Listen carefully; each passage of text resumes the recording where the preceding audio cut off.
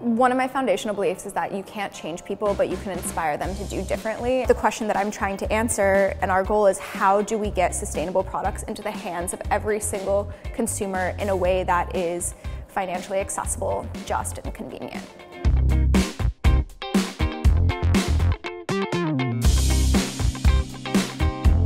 I'm Lauren Singer and I'm the CEO of Package Free. Package Free is a company that's on a mission to make the world less trashy. We sell products that help people reduce waste every day.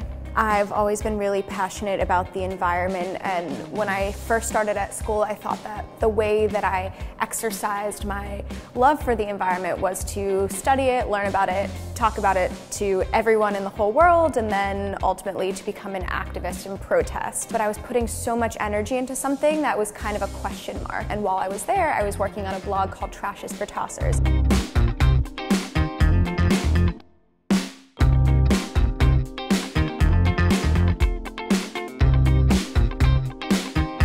Decided to go plastic free.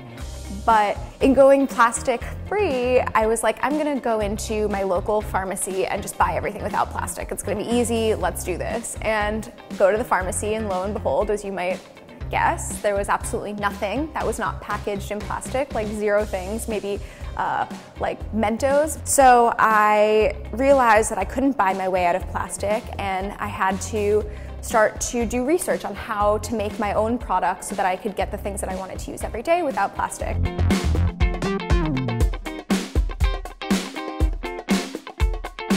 Nothing like this existed in the US or really anywhere before. And so how we started the company was we asked each of the brands to be involved by paying up front. So between one and $3,000, which was the capital that we used to launch the company. And then basically they got to keep 100% of the sales. We weren't taking any profit. So we launched on Earth Day in 2017. And on day one, it's kind of like a, is this gonna work? I don't know. I have a blog, let's see what happens. By the end of month one, almost all of our brands had paid themselves back. By the end of month two, they had all made a significant profit. By month three, they had done so well and the store was getting so much press, growing so quickly. But my mission is creating large scale positive environmental change. And that means not just providing product for the original core group of customers that we were tackling, which is people who are already interested in sustainability and who want to live a sustainable lifestyle. But ultimately, our goal is to become the largest manufacturer and distributor of sustainable products.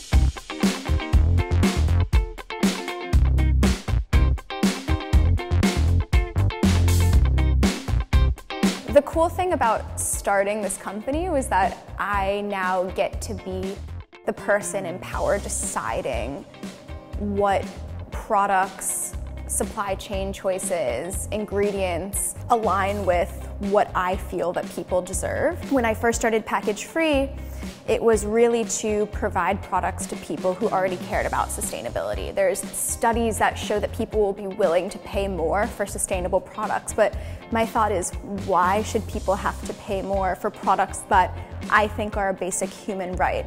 We're not trying to make products that are just making people buy more stuff for the sake of buying more stuff. The core of what we're going to produce and sell are products that are consumables, replenishables, things that people are already buying and using every single day. And I think when it comes to the problem of waste and ultimately of climate change, package free is directly solving that problem.